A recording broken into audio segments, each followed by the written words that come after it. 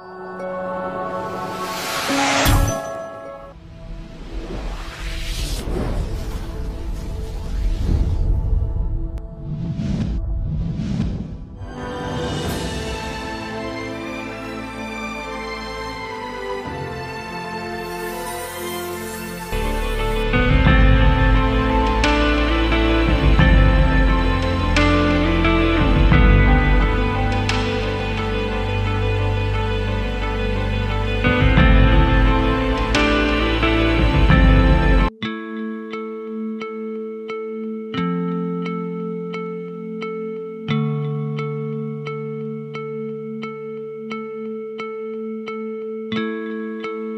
ಕೃಷಿ ಭೂಮಿ ಕರಾವಳಿಯಲ್ಲಿ ವಿವಿಧ ಕೃಷಿಗಳೊಂದಿಗೆ ಮಲ್ಲಿಗೆ ಕೃಷಿ ಕೂಡ ಪರಿಚಿತ.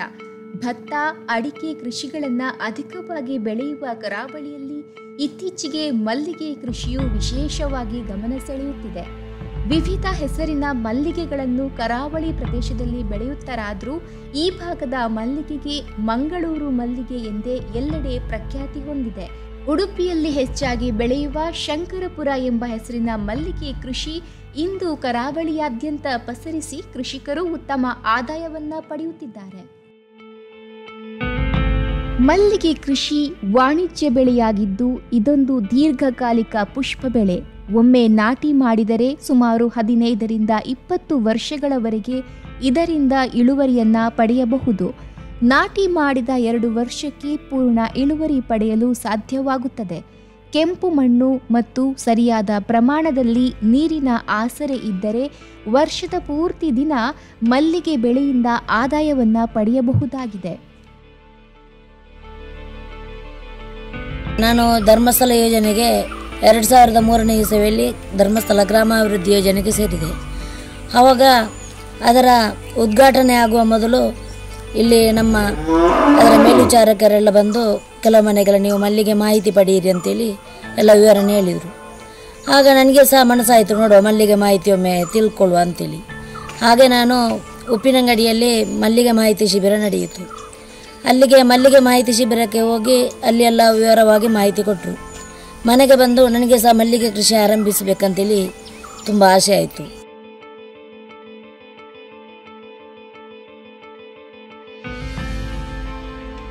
ಮಲ್ಲಿಗೆ ಗಿಡ ಸಾಮಾನ್ಯವಾಗಿ ಪೊದೆಯಾಕಾರದಲ್ಲಿ ಬೆಳೆದು ಉದ್ದನೆಯ ಚೂಪಾದ ಒಂದು ಸುತ್ತಿನ ಸುಗಂಧಭರಿತ ಸಣ್ಣ ಗಾತ್ರದ ಹೂಗಳನ್ನ ಬಿಡುತ್ತದೆ. ಒಮ್ಮೆ ಇದರ ಮೊಗ್ಗುಗಳು ಕೊಯ್ದ ನಂತರ ಆ ಮೊಗ್ಗು ಹತ್ತರಿಂದ ಹನ್ನೆರಡು ಗಂಟೆಗಳವರೆಗೂ ಅರಳುವುದಿಲ್ಲ ಮತ್ತು ಬಾಡುವುದಿಲ್ಲ ಕೂಡ.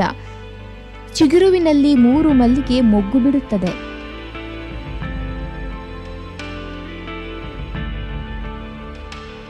ಮಲ್ಲಿಗೆ ನೆಡ, ಗಿಡ ನೆಡುವಾಗ ಅದಕ್ಕೆ ಜಾಗದ ಆಯ್ಕೆ ಬೇಕಂತೇಳಿ ಯಾವ ಜಾಗವನ್ನು ಆಯ್ಕೆ ಮಾಡೋದಂತೇಳಿ ನಿರ್ಧರಿಸಿದೆ.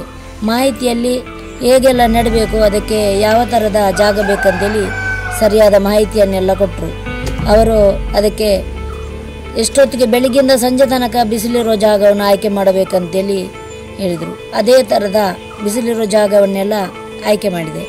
ಮತ್ತು ಮಳೆ ನೀರು ನಿಲ್ಲದಂತೆ ಇರುವ ಪ್ರದೇಶ, ಮತ್ತು ಬೇರೆ ಮರದ, ಬೇರೆಲ್ಲ ಹೋಗಬಾರ್ದು. ಅಂಥ ಪ್ರದೇಶವನ್ನೆಲ್ಲ ಆಯ್ಕೆ ಮಾಡಿ ಗಿಡವನ್ನು ನೆಡಲು ಆರಂಭಿಸಿದೆ. ನಮ್ಮಲ್ಲಿ ಅಡಿಕೆ ಗಿಡಕ್ಕಂತೇಳಿ ಗಿಡ ಬುಡಕ್ಕೆ ಅಂತೇಳಿ ಗುಂಡಿ ಮಾಡಿದ ಗಿಡ ಇತ್ತು. ಅದು ಆ ಜಾಗವನ್ನೇ ಆಯ್ಕೆ ಮಾಡಿದೆ.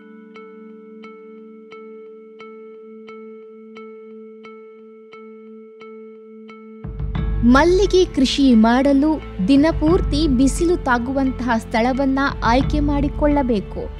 ಮಳೆಗಾಲದಲ್ಲಿ ನೀರು ನಿಲ್ಲದಂತೆ ಬೇರೆ ಯಾವುದೇ ಮರಗಳ ಬೇರು ಇದರ ಅಡಿಕೆ ಬಾರದಂತ ಇಳಿಜಾರು ಇರುವ ಜಾಗವನ್ನು ಆಯ್ಕೆ ಮಾಡಿಕೊಳ್ಳಬೇಕು. ಒಂದು ಗಿಡದಿಂದ ಇನ್ನೊಂದು ಗಿಡಕ್ಕೆ ಸುಮಾರು ಏಳರಿಂದ ಎಂಟು ಅಡಿ ಉದ್ದ, ಒಂದೂವರೆ ಫೀಟ್ ಆಳ ಮತ್ತು ಎರಡು ಫೀಟ್ ಅಗಲವನ್ನ ಮಾಡಿಕೊಳ್ಳಬೇಕು. ನಂತರ ಹಟ್ಟಿಯಿಂದ ತೆಗೆದು ಹಾಕಿದ ಗೊಬ್ಬರ, ಸ್ವಲ್ಪ ಮಣ್ಣು ಮತ್ತು ಮರಳನ್ನ ಮಿಶ್ರಣ ಮಾಡಿ ಗಿಡವನ್ನ ನೆಡಬೇಕು.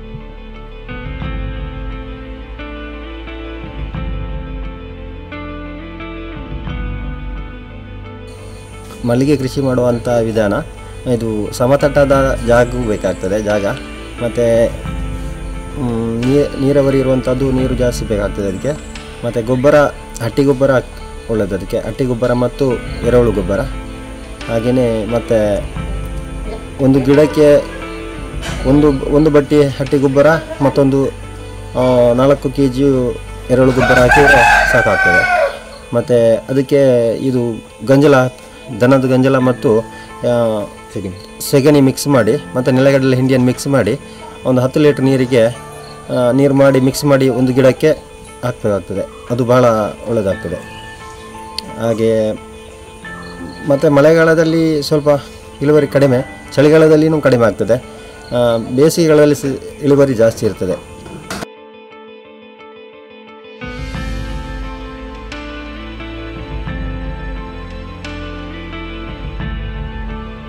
ಗಿಡ ನೆಟ್ಟ ನಂತರ ಅದರ ಉಳಿಯುವಿಕೆಗಾಗಿ ಒಂದು ವಾರದವರೆಗೆ ಅದಕ್ಕೆ ನೆರಳು ಮಾಡಬೇಕು. ಚಳಿಗಾಲದಲ್ಲಿ ಬೆಳಗ್ಗೆ ಗಿಡದ ಮೇಲೆ ನಿಂತಿರುವ ಇಬ್ಬನಿಯನ್ನು ನೀರು ಹಾಕಿ ತೆಗೆಯಬೇಕು. ಒಂದು ಸಣ್ಣ ಗಿಡಕ್ಕೆ ಎರಡೂವರೆ ಲೀಟರ್ನಷ್ಟು ನೀರು ಬೇಕಾಗುತ್ತದೆ. ಬಿಸಿಲಿರುವ ಸಮಯದಲ್ಲಿ ಚಿಗುರು ಬರುತ್ತದೆ ಅದನ್ನು ಕೈಯಲ್ಲಿ ಕಟ್ ಮಾಡಬೇಕು. ಹೀಗೆ ಆರು ತಿಂಗಳ ಕಾಲ ಗಿಡದಲ್ಲಿಯಾದ ಹೂವನ್ನು ಕೀಳಬಾರದು.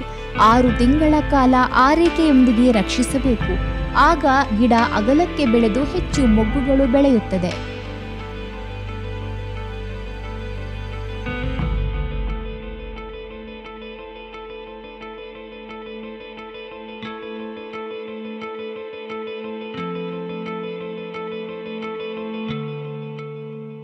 ಆರು ತಿಂಗಳ ನಂತರ ಹೂವನ್ನು ಕೊಯ್ಯಬಹುದು. ಆರಂಭದಲ್ಲಿ ಇಳುವರಿ ಕಡಿಮೆ ಇರುತ್ತದೆ. ವರ್ಷ ಕಳೆದಂತೆ ಹೂವಿನ ಮೊಗ್ಗುಗಳು ಹೆಚ್ಚಾಗುತ್ತಾ ಹೋಗುತ್ತದೆ. ಹದಿನೈದು ವರ್ಷದ ದೊಡ್ಡ ಗಿಡವೊಂದರಲ್ಲಿ ಒಂದು ಅಥವಾ ಎರಡು ಅಟ್ಟಿ ಹೂವನ್ನ ಪಡೆಯಬಹುದು. ಒಂದು ಅಟ್ಟಿ ಅಂದ್ರೆ ನಾಲ್ಕು ಚೆಂಡು. ಒಂದು ಚೆಂಡಲ್ಲಿ ಎಂಟುನೂರು ಮೊಗ್ಗು. ಒಂದು ಅಟ್ಟಿಯಲ್ಲಿ ಮೂರು ಸಾವಿರದ ಇನ್ನೂರು ಮೊಗ್ಗು ಇರುತ್ತದೆ.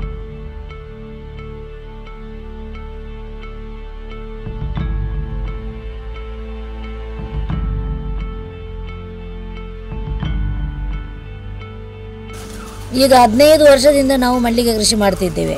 ಒಂದು ಗಿಡದಲ್ಲಿ ಸಾಧಾರಣ ಒಂದಟ್ಟಿ ನಾಲ್ಕು ಚೆಂಡು, ಒಂದಟ್ಟಿ ಅಂದರೆ ನಾಲ್ಕು ಚೆಂಡು ಹೂ ಬರ್ತದೆ. ನಾಲ್ಕು ಚೆಂಡು, ಎಂಟು ಚೆಂಡು ಹೂ ಸಹ ಸಿಗ್ತದೆ ಒಂದು ಗಿಡದಲ್ಲಿ ನಮಗೆ ಈಗ, ದೊಡ್ಡ ಗಿಡದಲ್ಲಿ. ಆಗ ಒಂದು ಚೆಂಡು ಅಂದರೆ ಎಂಟುನೂರು ಬೆಗ್ಗು ಬೇಕು. ಒಂದು ಅಟ್ಟಿಯಲ್ಲಿ ಒಂದು ಅಟ್ಟಿಯಲ್ಲಿ ನಾಲ್ಕು ಚೆಂಡು ಬರ್ತದೆ. ನಾಲ್ಕು ಚೆಂಡಿನಲ್ಲಿ ಮೂರು ಸಾವಿರದ ಇನ್ನೂರು ಮೊಗ್ಗು ಬೇಕು. ಮತ್ತು ಇದಕ್ಕೆ ಖಾಲಿ ಮೊಗ್ಗು ಈಗ ನಾವು ಈಗ ಅಂಗಡಿಗೆ ಕೊಡ್ತೇವೆ. ಅಂಗಡಿಗೆ ಕರುವಾಗ ಮಾರಾಟದ ಟೈಮ್ ಹೇಗಿರ್ತದೆ ಅಂದರೆ ಒಳ್ಳೆಯ ಕಾರ್ಯಕ್ರಮ ಇರುವ ಟೈಮಲ್ಲೆಲ್ಲ ಒಳ್ಳೆಯ ರೇಟ್ ಬರ್ತದೆ. ಮತ್ತು ಕೆಲವು ಏಕಾದಶಿ ಇಂತೆಲ್ಲ ಕಾರ್ಯಕ್ರಮದಲ್ಲಿ ರೇಟು ಸ್ವಲ್ಪ ಕಡಿಮೆ.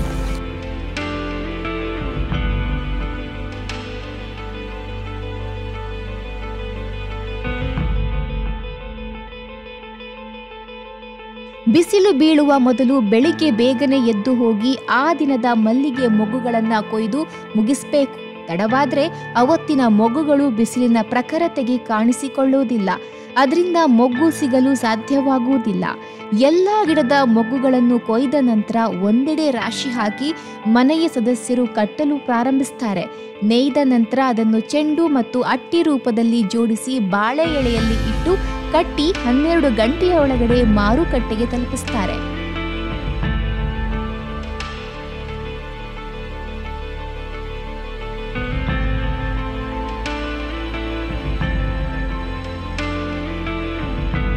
ಇದನ್ನು ಬೆಳಿಗ್ಗೆ ನಾವು ದಿನಂಪ್ರತಿ ಬೆಳಿಗ್ಗೆ ಆರು ಗಂಟೆಗೆ ಎದ್ದು ಎಂಟು, ಎಂಟೂವರೆವರೆಗೆ ಎಂಟೂವರೆ ಒಳಗೆ ಕೊಯ್ದು ನಂತರ ಅದನ್ನು ಕಟ್ಟಿ ಮತ್ತೆ ಹನ್ನೆರಡು ಗಂಟೆಯ ಒಳಗೆ ಮಾರುಕಟ್ಟೆಗೆ ನಾವು ಅದನ್ನು ಮಾರಾಟ ಮಾಡು ಮಾರುಕಟ್ಟೆಗೆ ಪೇಟೆಗೆ ನಾವು ಕೊಡುವಂಥದ್ದು.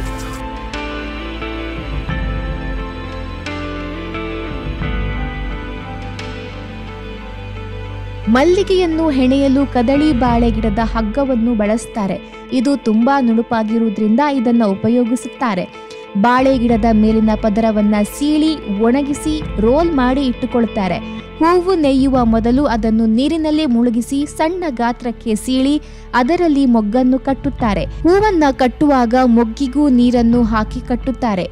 ಬೇಸಿಗೆ ಕಾಲದಲ್ಲಿ ಒಣಗಿಸಿದ ಹಗ್ಗವನ್ನು ಮಳೆಗಾಲಕ್ಕೂ ಶೇಖರಿಸಿಡುತ್ತಾರೆ.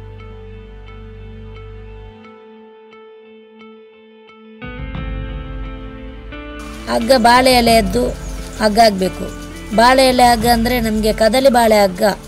ಅದು ತುಂಬ ನುಣುಪಾಗಿರ್ತದೆ. ಅದನ್ನು ಒಣಗಿಸಿ, ರೋಲ್ ಮಾಡಿ ನಾವು ಸ್ಟಾಕ್ ಮಾಡಿರ್ತೇವೆ. ಅದನ್ನು ನೀರಲ್ಲಿ ಮುಳುಗಿಸಿ ಮರುದಿವಸ ಬೆಳಿಗ್ಗೆ ಅದನ್ನು ಚಿಗು ಚಿಗುದು ಚಿಗುರು ಮಾಡಿಟ್ಟು, ಸಣ್ಣ ಸಣ್ಣ ಇದು ಮಾಡಿ, ತುಂಡು ಮಾಡಿಟ್ಟು ಅದರಲ್ಲಿ ಕಟ್ಟಬೇಕು. ಅದು ನಾವು ಮಳೆಗಾಲಕ್ಕೆ ಸಹ ಬೇಕಾದಷ್ಟು ಸ್ಟಾಕ್ ಮಾಡಿರಬೇಕು. ನಂತರ ಮಳೆಗಾಲದಲ್ಲಿ ನಮಗೆ ಬೇಕಾಗುವ ಹಾಗೆ ಅದು ಹಗ್ಗ ಸಿಗುವುದಿಲ್ಲ.